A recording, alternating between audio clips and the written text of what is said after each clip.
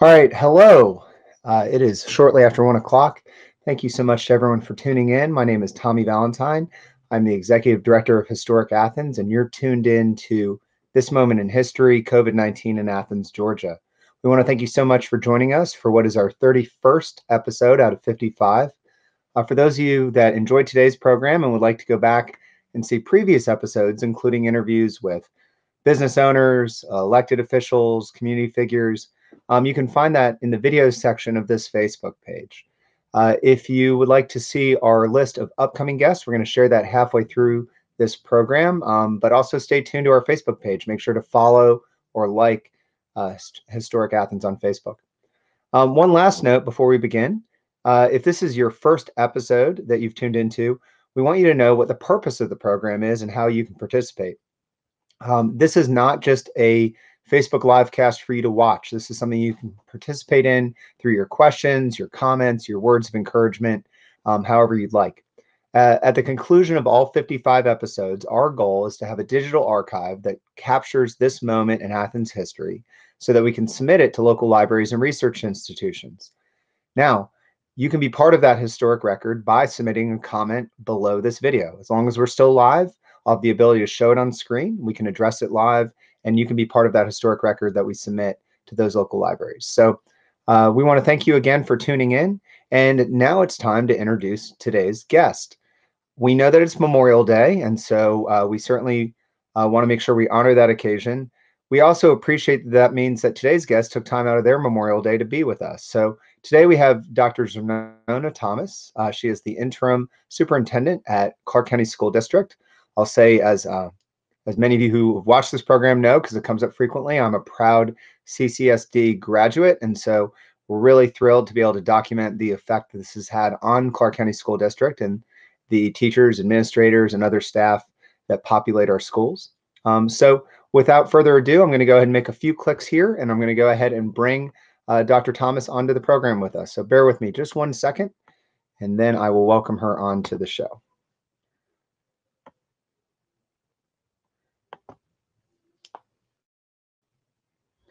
All right, great. Uh, Dr. Thomas, thank you so much for being here with us today.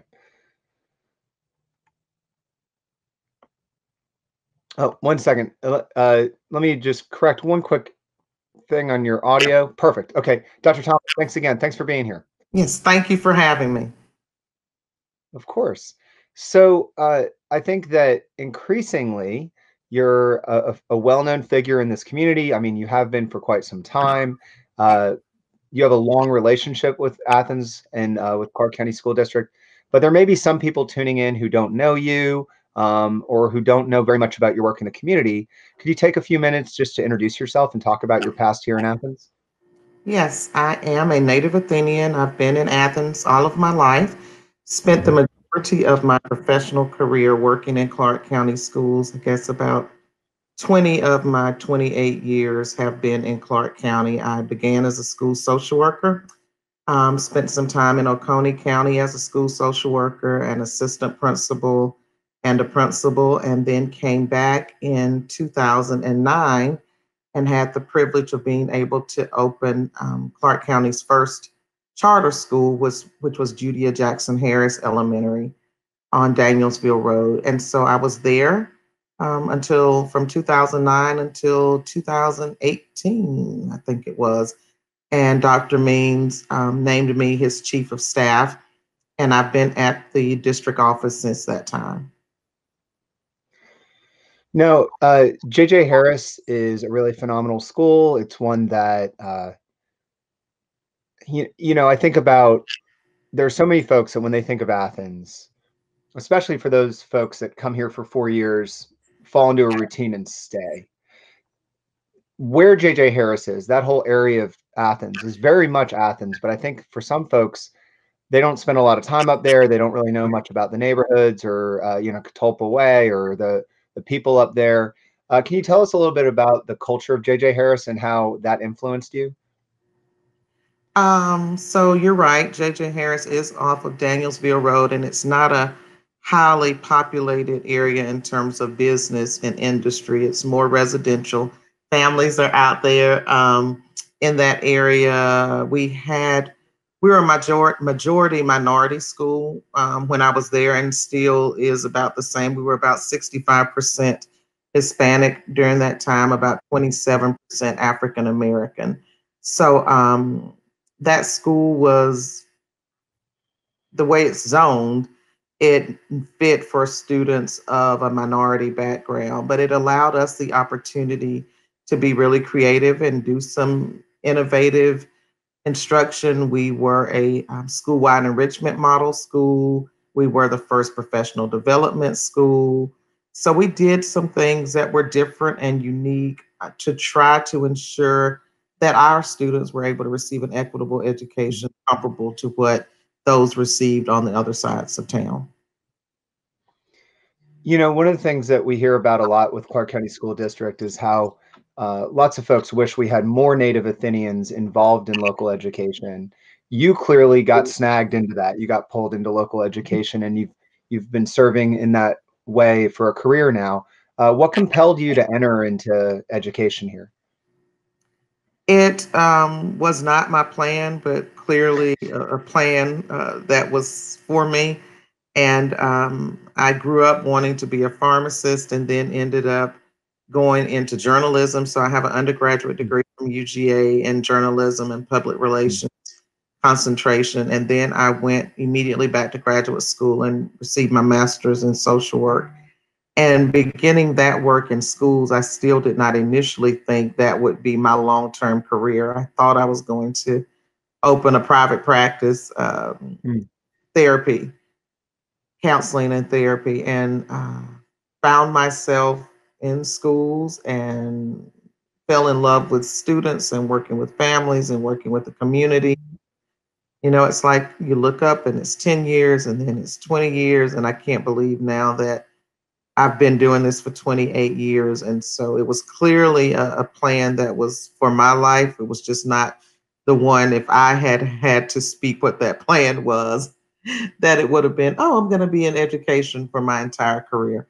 But I wouldn't change anything in it if I could.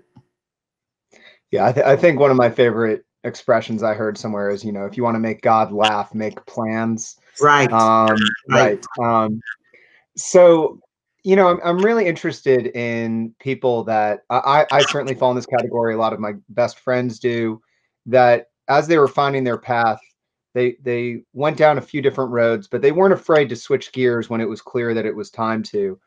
Mm-hmm. You know, I'm really fascinated at this intersection of journalism, social work, and education you know what for you what's the through line between those three what what did those three have in common that they each pulled at you at different times in your life communication mm.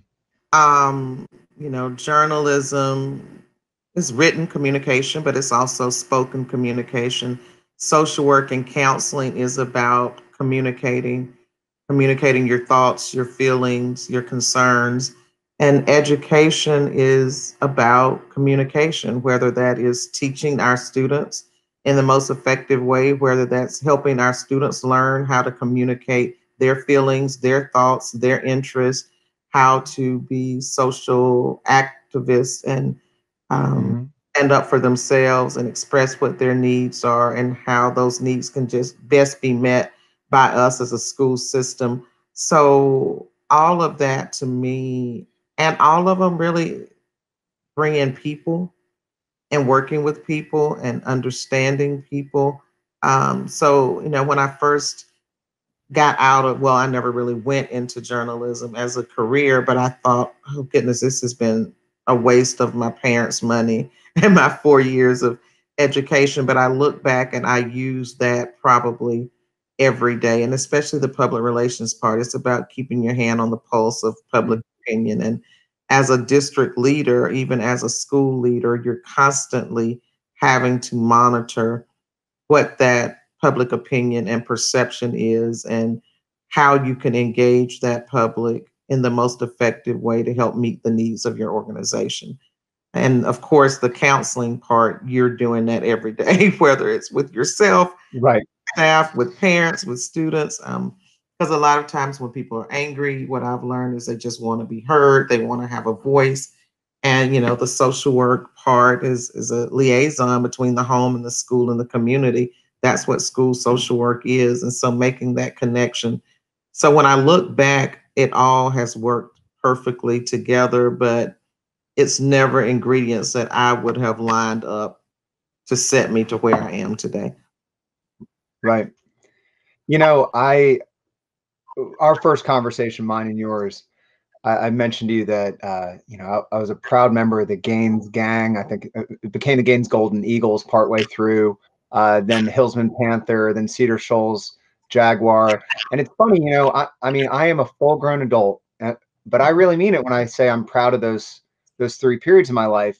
And I meet so many other people that graduated from Clarke County School District that their pride for where they went to school, K through 12, rivals the kind of pride you hear from folks who you know they're undergraduate or you know they're they're co- whatever college they graduated from mm-hmm. you even see folks uh you know still as passionate about cedar central rivalries or things like that into adulthood as some people are about georgia florida or things like that why do you think it wasn't until i was an adult and I, I started interacting with people that went to other school districts that i realized that that kind of local pride is not typical. You don't see that everywhere in every school district. Um, why do you think Clarke County School District engenders that kind of passion and pride from its graduates? I think maybe it um, goes back to the kind of community we have. I, mm. Athens Clarke is a very strong community. And so when you talk about the schools, that's a community. And so it seems that just being a part of Athens Clarke County, it naturally builds that sense of commitment in you. Mm-hmm. Those who are from here or who have moved here and become a part of this area, you see a sense of oneness, a sense mm. of to help, wanting to be supportive. I mean, you you couldn't have seen that more than we have over the last three or four months and so that sense of caring for each other, reaching out to each other, being there, there is a sense of pride there. And so I believe that that kind of spilled over into our schools. And many of our parents today were students themselves. And so, mm. you know, for me, I grew up as, you know, under the Billy Henderson era, and there was mm. nothing greater than being a gladiator in the mid to late 1980s. I mean, it was about so there was this competition, um, not just locally, but statewide. And you wanted to support your schools. You wanted to be a part, mm-hmm. proud to be a part of that. And it wasn't just athletic, you know, academically, we had so many people that were successful, but I do believe that athletics is what brought people together. And you still see that. That's the one thing one area where people come together across races, across socioeconomics, across gender, and you are pulling for and believing in something as a unified group. And um, I think that that kind of, I don't know, sense of oneness that started years back because so many of our mm-hmm. families do stay here generationally, that's passed on to their children that there's just a true sense of pride in in your school and in your community yeah the the last que- general question i have about your area of work and then we'll we'll move on to more current issues but you know i'm wondering about how your role as a native athenian has aided you and your ability to do your work. I'll I'll, I'll editorial I'll editorialize this for a second. I know that uh, as the community was waiting to hear who was going to take on the interim role of superintendent, uh, at a time where I don't know if I heard much of any any agreement about our school district. There were so many hot takes about different perceptions in our school district. Uh, when it was announced it was you, there was kind of a, a general consensus of happiness. People clearly felt like you had local connections that would enable you to do this job well. So, so can you outline that for us? Like, how, how is being being not just someone who's been here for decades as a professional, but also your local roots, Um, how does that tie into the way you approach the job? Um, it's personal. Mm. So I know what Clarke County has been. So for me, I know what Clarke County can be. Mm. I know what's been produced from here. Um, I know that equity is possible. I know that success is possible no matter where you're coming from, public housing or five points. I know that um, all of our students can succeed. And I know that from my own personal experiences as a student. But mm. then I'm a parent. And so I have a true commitment to wanting our schools to be the best they can be. I, you know, I have one child that's graduated and I have one that's about to be a senior and I want her to be competitive. I want her mm. to have every opportunity that she wants for herself. And I don't just want that for her, I want that for every one of her classmates. I want that for every student K 12. And so when I look at our academic performance as of late. And when I hear some of the conversation and dialogue about our children, it's personal for me. Um, mm. I know that our children can learn. I know that Black children can learn.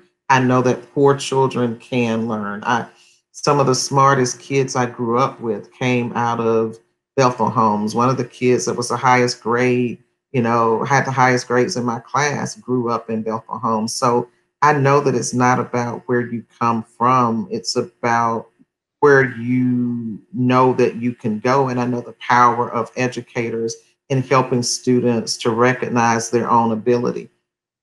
And so for me, it's just about, I'm not someone just looking at numbers. These are my classmates' children or my classmates' grandchildren. And I don't know. I'm just not jaded by this belief that because right. of color or because they're poor, they can't succeed. And I know that from firsthand experience. So, you know, I uh, I'm going to break the promise I just made, which is I said that was the last general question, but you just opened up 300 things I want to talk about. Um, but all right, so the first is a, is kind of a rose tinted glasses question. Okay? okay. I think everyone who looks back at their childhood, there's a degree of feeling like those were the good old days, or uh, or maybe something's been lost. When I grew up in, in Clarke County schools, uh, I mean, I, I, usually use the lunch table analogy. I, I remember at Cedar, pretty much everybody would sit at different lunch tables all the time. There was a lot of camaraderie across social economic status, across race. Um, you didn't just have token friends of other demographics. You had le- legitimate, rich mm-hmm. relationships. And I'm not saying we were fulfilling Dr. King's dream yet or anything, but it just felt like we were making progress. Um, there were still issues. I still remember noticing even back then how bizarre it was that some of my smartest friends weren't in gifted uh, or so-called gifted spectrum. Mm-hmm. I remember that was a really eye-opening thing of you know, sometimes being in these AP classes and not feeling challenged by some of the people I was in study groups with. Whereas in some of my general classes, I'd run across people with just dazzling intellects that ha- hadn't been pulled into that so-called gifted cohort. Um, so there were issues, but it seemed like there might have been some headway. Do you feel like uh, let, let me ask it to you, I guess, in the best possible way that I can think of. what opportunities are there right now to maybe regain some past ground, but also to innovate? Do you, do you see any uh, any chances to kind of sew people closer together while also fighting for that equity you were talking about? Hmm. I think we have to go back to a place where learning is not optional. Mm. So when you talk about rose colored glasses, I do think back to my childhood. Um, but there was a standard, and it was a non negotiable standard that was set. Now, a lot of that started at home. Um, and I think we're going to have to find new and creative ways to have more of a pervasive expectation for all of our students. We Mm. have a community engagement department, we have a position dedicated to that. Unfortunately, we had just really gotten started strongly with that work before the pandemic came. But Mm. how do we reach out to community businesses? How do we reach out to parents? How do we reach out to churches to help us establish that culture of expectation? How do we ensure that every teacher has a belief that every child can learn? How do we teachers um, build relationships with students that aren't antagonistic, but that are um, filled with expectation? I keep going back to that word, but I I believe that children will rise to the standard that we set for them. Mm. Seen it in my own career, and I don't think it's a a black or white thing. Um, some of my fondest memories of teachers were white teachers. I have some mm-hmm. wonderful, fond memories of teachers who were of color, but it wasn't just that only I could only connect with teachers that look like me. I've seen that in my own children, you know, some of their the teachers that pushed them the most looked like them, but then there were others who did not look like them. I've had challenges with teachers who looked like my kids, who I felt didn't have my children's best interest at heart. And so we have to get to a place where, you know, and you're never going to be at 100%, Tommy. We get that. But learning was non negotiable for me. Um, I had teachers who said, I know you can, and because I know you can, you will. Um, you know, giving work back wasn't that they were being difficult, it was that they knew we were capable of doing better. Saying, You will Right.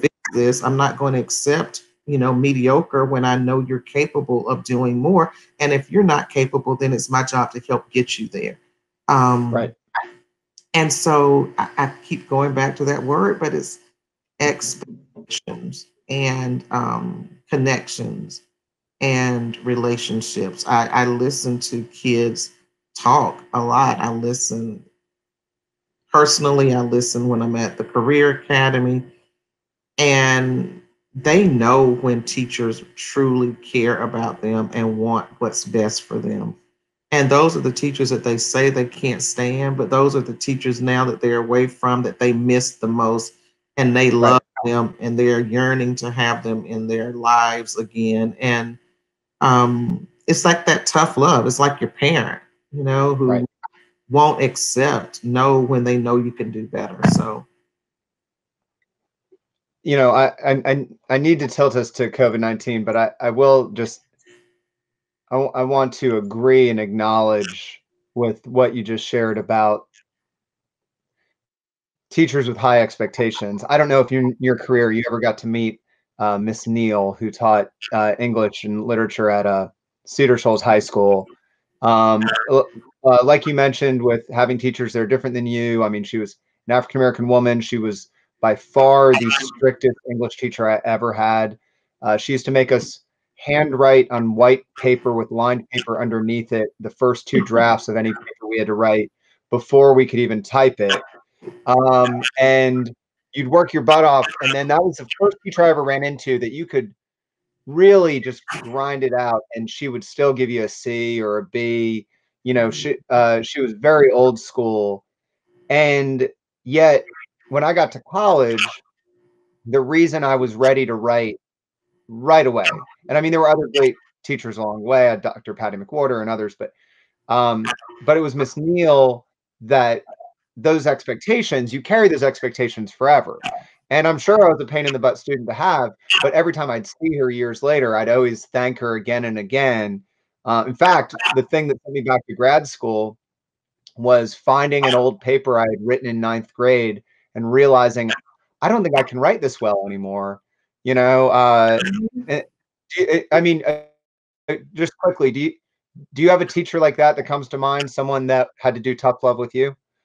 You know, it's interesting. Um, when I was listening to you talk, and it wasn't even a content class, but I was seeing Miss Theodora Maxwell, and anyone in my age range that went to Clarke Central knew her. She taught business, and back then she taught typing. And we had to take timed typing tests every week. And she walked around with this ruler in her hand. I can still see it and feel it like it was yesterday. And she was so stern, and it was, you know, eyes on the copy because you had to look at a you know a paper that was on a stand and hands in position begin and we had to type without looking and you had to keep your wrist up in position and when those wrists would drop she would pop that hand you know not in an abusive way not right. you felt that on your hand it was like get that wrist up but now I can sit and have a full conversation and I'll say to a teacher or a student, I'm listening to you. And I can listen and never take my eyes off of them and pretty much type paragraphs without ever looking down.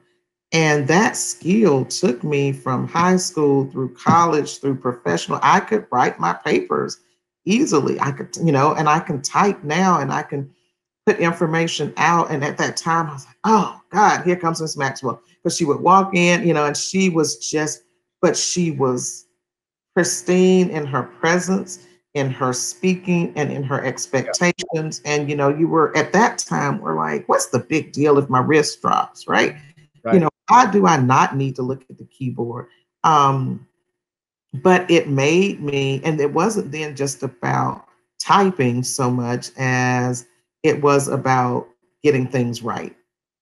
right. And doing it well and not half-heartedly giving effort. And so she taught really a life lesson in that, um, as well as a lifetime skill. And there are many, yeah. many other teachers I could name, you know, that did the same thing, but I that's like a class I see myself utilizing every day because I type so much and kids now look, you know, because they are texters and everything. Are you not looking at the keyboard? No, Miss Maxwell would not let me look at the keyboards. so yeah, she, I, am sure on some level, when you're if your hands get out of position, you're, you know, half expecting that ruler to come out. Of yeah, I, I do. and, and, I I do want to say, uh, this is such a good point because so many of the teachers that are memorable when you're in high school uh, or in any level of school even if you can't remember the content they taught you, even if that's faded, you know, whatever history they taught you or or this or that, it's the discipline and self-expectation. That's what you carry with you, you know, the the need to do something well. So right. and actually I just I want to see we have some comments here. I'm going to yes. show this. Alex sam uh, just chimed in to say uh, that he had Miss Maxwell too and loved her. Um, and then Milton is going to get us back on track here. Milton Leathers uh, just shared the following. I think it's a great question, Milton. Thank you so I much. Agree. So, how can our schools make the most of the many good lessons this pandemic is teaching us? How can we continue to use, even enhance the good? That's an interesting question because this is, you know, so often we're focused on the difficulty, the stress, the complication from, uh, and and often the tragedy that's coming from this uh, pandemic. But is there any good that you see, Dr. Thomas, that you can carry on? Oh, definitely. And I think I was reading his comment as well. And I've used a quote in some of the communications I've sent out to families about how do we create a new good. Mm-hmm. Um, I think that we have learned so much. We've learned that there are new ways we can do things. We've learned that um, we don't have to come together face to face for every meeting. We've learned we will be able to be more efficient. Um, you know, I've found right now that we're not necessarily because and I figure out why. But you know, today, so for all of us, um, you know, if you have a job, you get up, you go to work, you do your job, and every day is pretty similar to the day before, with just a few twists to that. Uh, but now, almost everything we're doing is new. And so mm. when you get up every day, you you don't have a playbook to say this is how you respond to teaching kids six feet apart. Um, you know, and so we've had a playbook for much of what we do in education, and that's very different now. And so it is requir- requiring a lot more thinking and problem solving and and time. So you find yourselves on Zoom for 10 hours a day and you still have only gotten through half of your list. But what Zoom has taught us is that we don't have to pull principals out of the buildings once we return for every meeting. We can have a two hour mm. Zoom meeting and make it interactive and get them the information they need. So that's a new good, you know. Um, we've learned that students can really be taught differently. Now, were we prepared for that when this started? No, we weren't. But now we're at a place of recognizing that there are some good digital platforms out there that we can utilize to supplement what we're doing because we all recognize that we will probably be back in the place that we've been now again in a few months. I mean, that's what all the forecasts are telling us. So, you know, how do we create a new good of blended learning? And um, I was in conversations this morning with our chief academic officer about how do we ensure that our teachers have the supports and the confidence that they need to be ready in October or January or whenever we return here to ensure that we're giving our students quality, rigorous, equitable learning opportunities. That's very different than doing that mid to late March because you can say, oh, we've taught three fourths of the year, but if you're doing that in October, there's a right. lot of learning that still has to happen. So, what new good can we find? How do we ensure that teachers feel comfortable and that they have the resources and tools that they need to support our students in a new way? You know, I've heard people say that things would never go back to how we once knew them. That things, you know, not a hundred percent back to how we've done things. But, you know, grocery stores had started the click picking up, right? They had started the delivery to your home. They had started where you could just drive up and get the groceries you've ordered. And now you see a new good. I mean, that's not horrible. People are learning to embrace that new way. So I think Mr. Leathers is right. We have to challenge ourselves to see what have we learned? How can we be more efficient in our work, but still be equally or more effective in our work? I don't want to um, give up effectiveness for efficiency, but how do we now push ourselves to ensure that we're doing both? And there really is some good that can come out of this. I've looked at, um, read, and I'm sure many of you have about the state of California and how they're, you know, getting rid of SAT and ACT now for college admissions um, at some of the colleges. And they said they had been talking about doing this. So this has kind of pushed us in the field of education to say, is this really necessary? So, you know, those colleges are saying, no, it's not. You know, are these tests truly reflective of what our students can do? Are these tests equitable? And they are not. So, you know, when you read it, talked about students of color, students from poverty, um, you know, and so I'm like, oh, those are our kids. We've been saying right. for years that many of the standardized tests that we give aren't designed to, to truly measure what all students know. So now institutions of higher learning are saying, yeah, you're right. We're going to create our own tests. Um, so people are pushed to look at things differently and to assess if what we've been doing was the best or were we doing it because we've always done it that way. And so I just believe that this will be a great opportunity for us to extend ourselves as educators and to find new ways to meet the needs of all of our children. Um, and they're, you know, it's not going to be without challenge. We have to make sure that every child has internet access. How can we work with our businesses to make sure that we're getting those hotspots? You know, um, do we need to put hotspots in community neighborhoods that are strong enough for our kids to get at home? But that's not bad either, you know. And so there's a lot out there that we will be able to do to challenge ourselves to ensure that we're meeting the needs of of all of our children. Telemedicine telenursing you know those kinds of things to be able to support families. We've already started with the health clinic at Hilsman and gaines but how do we extend those types of resources to support our students and their families? So i think he's exactly right. There will be things we can do. We have to establish a new good and um, right. even a new better you know we can do a new better. It doesn't just have to be acceptable. We can find ways but we have to get out of our comfort zones and that's going to be the challenging part. Speaking of challenging i know earlier you mentioned that sometimes you have to counsel yourself. This has definitely been a time where leaders are having to counsel themselves. Uh, so many of the community figures and leaders we've spoken to on this program have admitted and talked about the, the amount of stress, especially in the, those early days where it became clear this was going to change the way we did everything. How did you counsel yourself throughout that process? How did you calibrate for this moment?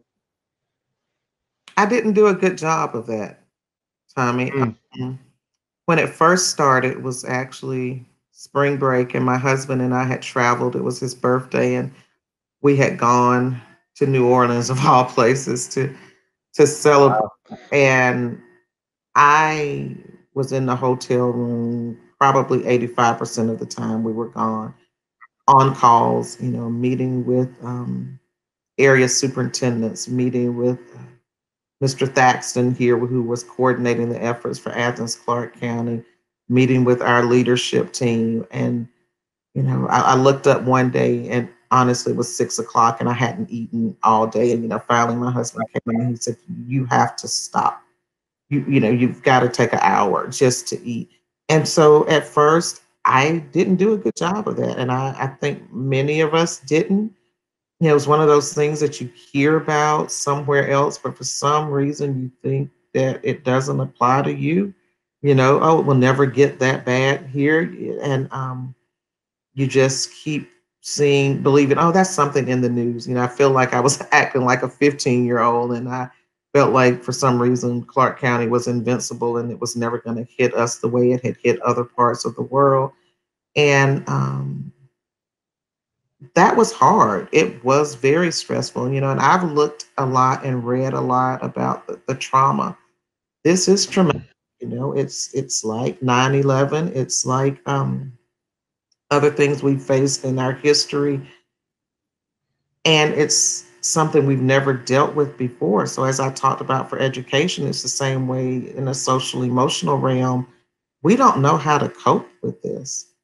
And right. I think it's going to be critical that we help our students with the trauma, we help our families with the trauma, but we also have to help staff because secondhand trauma can be just as powerful or harmful, should I say. And um, so we can't forget the impacts that this is going to have on us all emotionally and the impacts it's having for families who have not been able to work. You know, yeah, I'm stressed and I haven't calibrated, but I am still being paid. You know, my family can still eat. Our lights are still on. Um, the car note's still paid. And so at least I'm only dealing with the work stress. I'm not dealing with the home stress. But what about for so many families, you know, how this is impacting them? And that's hurting teachers, that's hurting principals because those are our children too. And so I think that's why we saw so many people coming out wanting to help when we were doing the feeding. And teachers were wanting to see their kids because they needed to know that those babies were okay. They needed to know that they were getting what they needed. They needed to put their eyes on them. You know, teaching is so much more than a job. It becomes your life, and those children become your children.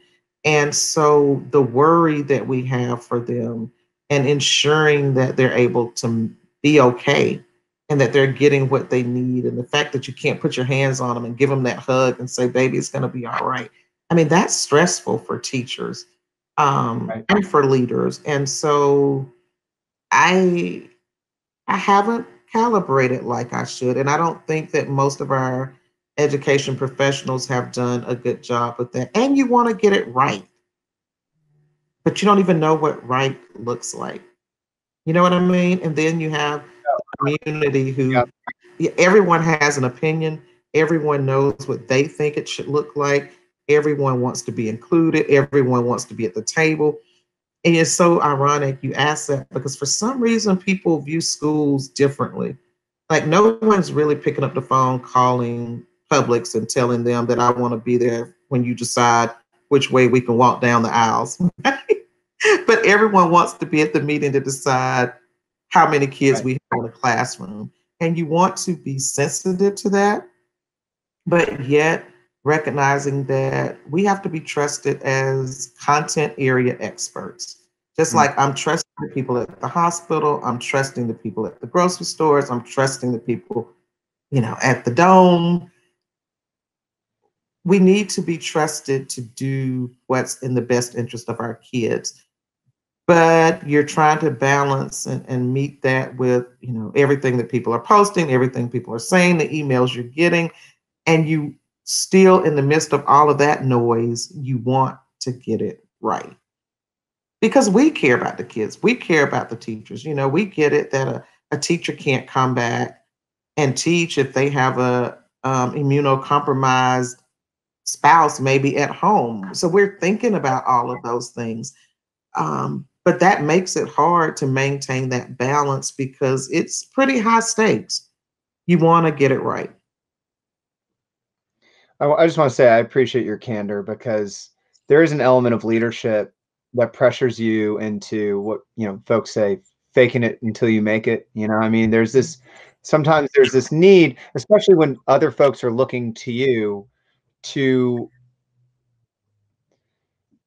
uh, assume a level of confidence that you may not actually have or a level of self-care that you may not actually have. And so i i think that it's it's very encouraging to hear you speak that way and, and realize and, and it's i think it's also important for our audience to hear that you know our administrators and our teachers are these staffs that uh, that populate our schools they're you know they're flesh and blood too um, and so i think that's something that we we want to be careful not to lose sight of um, I'm going to very quickly thank our annual sponsors.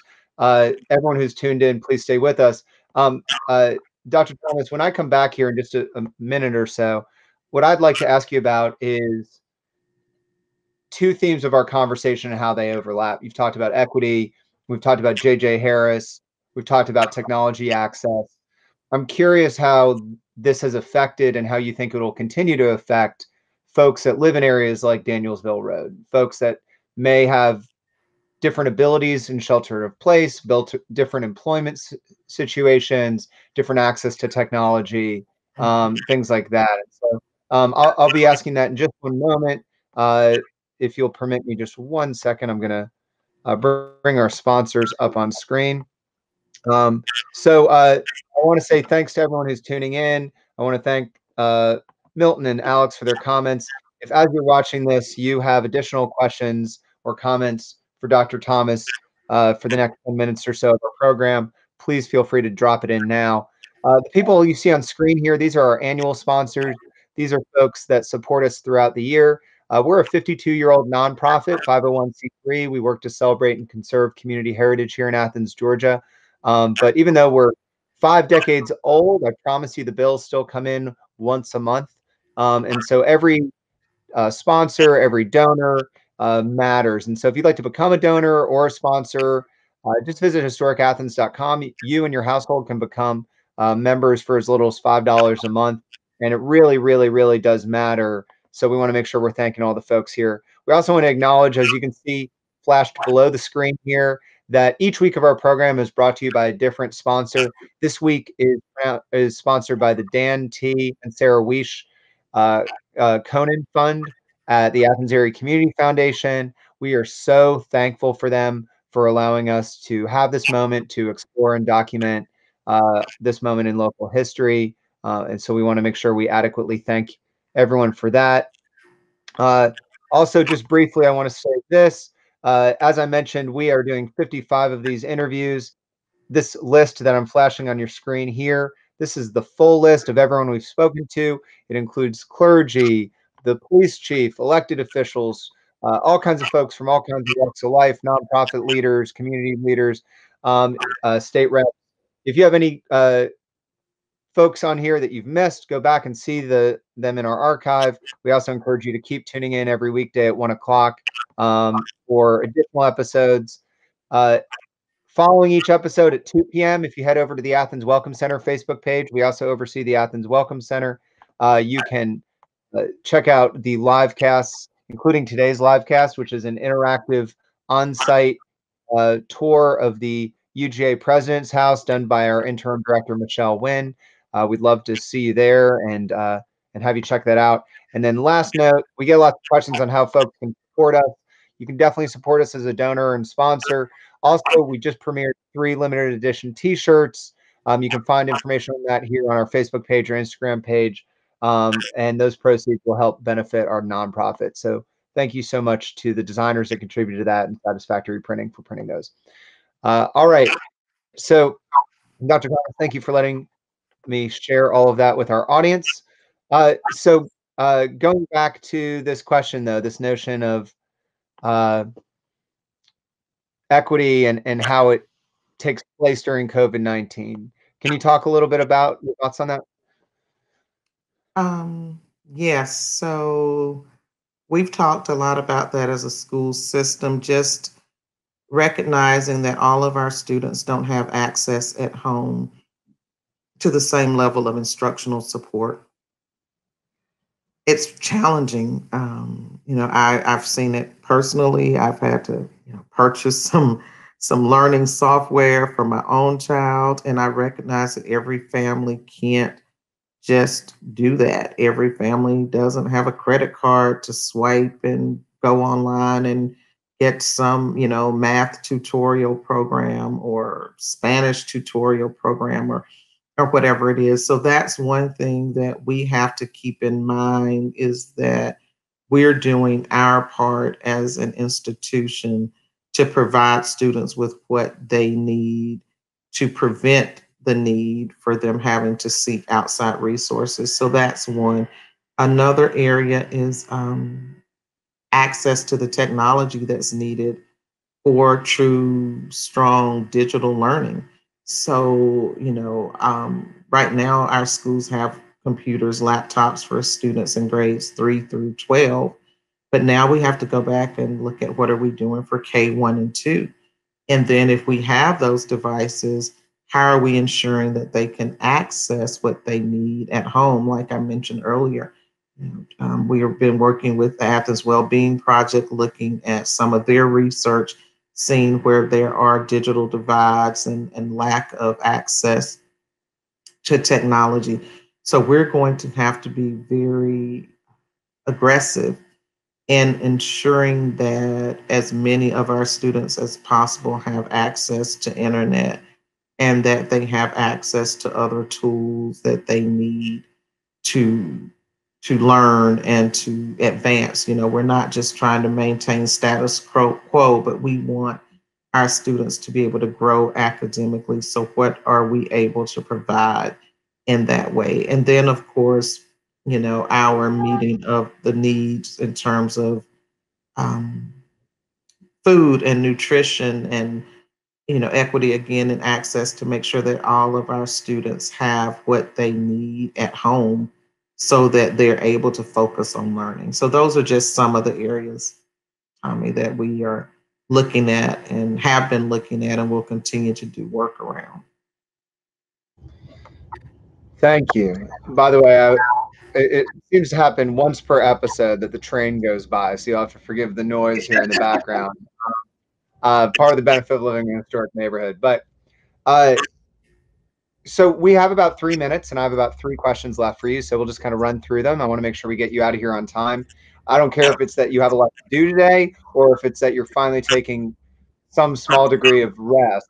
One way or another, I want to get you out of time. So, uh, the first question is a simple one. If you woke up tomorrow, quarantine was over, every Athens business was open again, and you could go anywhere you wanted, where would you go? I would probably. I might get a massage. I've been kind of tense lately. uh, other than that, you know, I honestly wouldn't rush out of the house. Being home has made me realize how much I'm away from my family normally. And I've really come to appreciate being able to be home with my family. Now, the bad part is when you're home and you're working from home, there's no separation uh, where you right. say, hey, I'm going to go home and I'm not picking it up because your home is work now. And I, I don't like that part. But I have been able to say, okay, I am home. And I will take a couple of hours just to do something fun with my daughter to look at a movie. And I may stay up on the computer to two o'clock after that. But at right. least, you know, I've had time. I just didn't realize how much I don't see my family until we've been together. So I wouldn't rush back into the world a lot. I, yeah, this is not a bad place to be. that's that's really great, and I, I relate for sure. Um, it's nice to be able to cook lunch for your kid, even if it's right, right. Yeah, it's fun. That's right. Um, so uh, part of what Historic Athens does is historic preservation, and post COVID will likely also be coming kind of post recession post recession, a lot of times uh, you get a lot of building very fast. Important historic sites can become endangered, and so we're we're trying to think ahead to what are the places that we need to preserve. What are what are people's favorite historic places in Athens? Um, when you think of favorite historic places in Athens, what comes to mind? I'll say this really quickly. I was looking at your graphic on the screen, and when I did my graduation, my final kind of capstone project in public relations, we worked for the Athens Clarke Heritage Foundation and had to create um, a new logo and a campaign for the Heritage Foundation. Oh. So, yeah, looking at that took me back. I'm like, wow. Even though the name has changed somewhat, that was that was my work. Um, and you know, I know. Can I, can I, say, I got to interrupt to say I, I've long wondered who exactly did the work. When we changed the name, uh, for those of you just tuning in, you know, you know we, we were Athens Clarke Heritage Foundation. Uh, last year, we made the decision. We felt, for several reasons, that it was time to become Historic Athens. Um, but you know, we didn't change the logo. We didn't even change the font. We just changed the name. And I so, noticed that. Uh, yeah, clearly your your work lives on. But um, it's been uh, about but, 30 uh, years ago. Wow. Well, that's that's a mystery, major mystery solved for me. Um, but uh, I'll have to talk more about that another time. That's interesting. But yeah, uh, favorite historic place. You know, you and I talked about this briefly before we started, but I think I would say there I have many in Athens, but I do value um, the H.T. Edwards building. And I think it's because in that building every day I'm able to walk through and I see my mother's classmates on the walls. Then I see those of us in my generation, and then I see those students who are there as a part of the Career Academy and the work they're doing moving forward to to be work ready um, and looking at the opportunities that they will have to change Athens, change Georgia, change the nation. And there's so many people on those walls that have done that. And you know, they did that at a time when there were segregated schools. But there are so right. many people I look at on those walls who are so successful. And it goes back to our earlier conversation that it can be done. And they were in poverty and they were of color. And so that building just serves as a daily reminder to me of what's possible for our kids. Incredibly well said. And yes, it is. Uh, my first time at HT Edwards campus, I was a substitute teacher when it was the alternative school. I think that that um, you know that building has been the site for so many legacy points in our community, and so certainly mm-hmm. it's one that we hope if somebody's tuning into this interview 50 years from now, we hope that they can still go visit that campus. Um, so uh, my final question concerns that future generation. So if someone, uh, Dr. Thomas, if someone's tuning into this 100 years from now and looking back at COVID-19 in Athens, Georgia, what would you want them to know about our community at this time? That Athens has been amazing during this COVID 19 period, that our community has pulled together. People have supported our students, our families, our staff, which is actually the Athens community, seeing how we've supported um, our healthcare workers here and seeing what people have done to support our businesses, especially those that are small businesses and what's been done for small business owners. And just that it goes back to when we started this conversation, Tommy, about Athens is a community and mm. wealth of, of support that's there and available for all of our citizens um, from so many entities has just been wonderful. And seeing even what the community has done for our graduates, you know, so we had a virtual graduation, but I was online and I saw where community members had a full graduation for students and they had a stage and they were calling out names. And, you know, it's kind of that whole we will rally together around each other and do what's needed to make sure that we all are okay during a time like this. Well, thanks for saying that. Yes, it has been amazing to watch the community respond. I, as a Cedar grad, I've been really inspired watching Principal Derricott. I think visit virtually every sign of every graduating student. It's everyone's pulling together. So uh, we appreciate you being part of that effort. So uh, uh, everyone who's tuned in today, thank you so much. Uh, we uh, will be back tomorrow at one o'clock with our next episode. Uh, to Dr. Xernona Thomas, thanks so much for joining us. We really appreciate you taking the time with us today.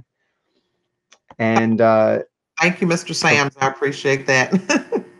oh, yes, absolutely. I'll bring that on screen. Let's make that part of the record. Uh, Alex Sams just shared, uh, Dr. Thomas, thank you so much for your leadership. You're bringing a welcome stability to our schools and community. So uh, thank you, Alex, for that comment. And, and thank you, Dr. Thomas, for that stability. So, uh, all right, uh, I, Dr. Uh, Xernona and I, Dr. Thomas and I are going to uh, go offline. Uh, everyone else, please stay safe and healthy. If you have the luxury of having today as a holiday, please use it as a holiday and invest in some self care. And um, we'll be back tomorrow at one o'clock. Thank you so much. Have a great day.